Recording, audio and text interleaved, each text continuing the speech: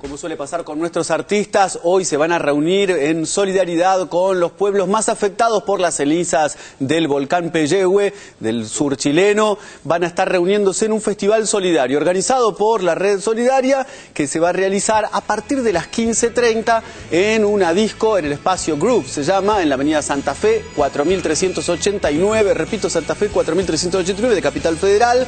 Y van a estar presentándose algunos como Javier Calamaro, lo tenés ahora en pantalla no va a estar solo, van a ir realmente mucha gente. ¿eh? Víctor Heredia, Fabiana Cantilo, Abel Pintos, Fernando Ruiz Díaz de Catupecu, también van a estar los Tipitos, Canto 4, los Pérez García, realmente una gran cantidad entonces de artistas. ¿Qué es lo que tenés que hacer para poder participar e ir vos también? Bueno, llevar algunos de estos paquetes que te voy a estar comentando. Por ejemplo, un paquete de pilas, de cuatro pilas de cualquier tamaño, más dos leches larga vida. O un paquete de cuatro pilas, más un bidón de agua. Y ya que hablamos del bidón de agua, también puede ser un bidón de agua con dos paquetes de azúcar.